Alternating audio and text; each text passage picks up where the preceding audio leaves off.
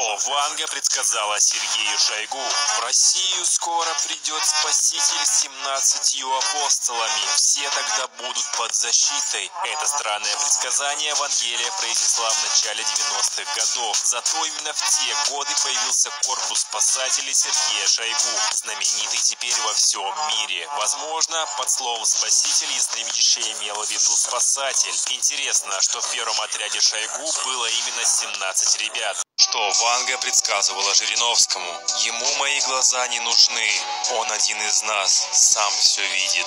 Действительно, Жириновский был провидцем. Так он пару лет назад предсказывал свою смерть. Панихида будет в колонном зале. На лафете гроб пронесут до университета старое здание, чтобы не мешать движение, народ, чтобы не бунтовал.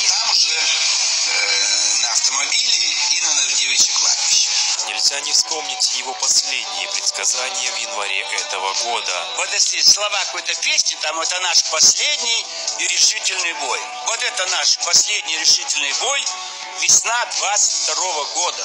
Пусть это будет в апреле, в мае, но в этом году это можно сделать. Мы победим только тогда решим все экономические проблемы. Что Ванга предсказала Жириновскому. Доллар, доллар, доллар.